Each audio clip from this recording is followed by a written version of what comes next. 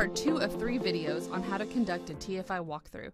We will be demonstrating the teacher interview portion of the walkthrough. Hi, my name is Mike Morrow, and I'm an external coach designated by the school district to support RTI 2B implementation. Today, I'm at Bramble Middle School to conduct a TFI walkthrough to gather information.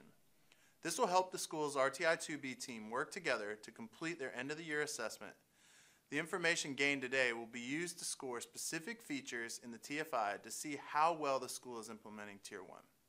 So, I'm about to go out in the school and interview staff and students. With me, I'll be taking the observation form with the questions to ask staff and students and to record their responses.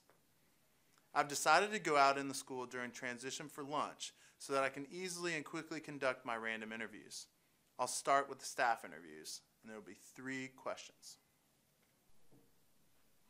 Hey, Miss O'Reilly, can I grab a minute of your time and ask you a couple questions? Sure, how can I help you? So my first question is, what are the school expectations? The Bramble Bees. Oh, okay. What are the bees? Be respectful, be responsible, and be safe. The objective of this question is to determine whether or not the staff knows the specific name you have adopted for the school-wide expectations. If the name is an acronym, they should be able to define the acronym. For example, a school uses their mascot, Cubs, for school rules. Cubs stands for Come to school, use responsibility, be respectful, and safety first. In this video, the teacher, Miss O'Reilly's responses are recorded by the external coach, Mike Morrow, on the interview and observation form here. Specifically, this should be the number of expectations the staff member was able to name.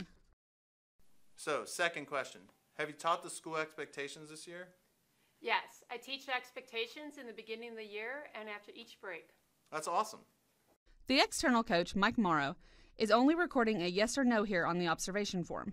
You may want to capture additional notes, like Miss O'Reilly teaching the school behavioral expectations after breaks, on a notepad for future use. So, last question. Have you given out any Bramble Bucks since last week? Yes, I give them out in the morning for students being responsible with all their material ready to go before the bell rings. I even gave out some this morning. Great. Hey, thanks a lot for supporting positive behavior at Bramble Middle School. That's really great. You're welcome. Again, you are only recording a yes or no here on the observation form. It may also be helpful to note if the teacher mentions if the reason for giving the reward was for appropriate behavior or potentially academics, such as turning in homework, bringing pencil to class, etc. This can be useful information to the school leadership team to evaluate the distribution and reasons students are receiving rewards. Ideally, teachers are utilizing the school reward system for appropriate behavior. However, if students are receiving rewards for academic purposes, it is important information for the school leadership team. It could mean that reteaching of the reward system and behavior matrix could benefit all staff and students to ensure everyone is implementing Tier 1 systems with fidelity.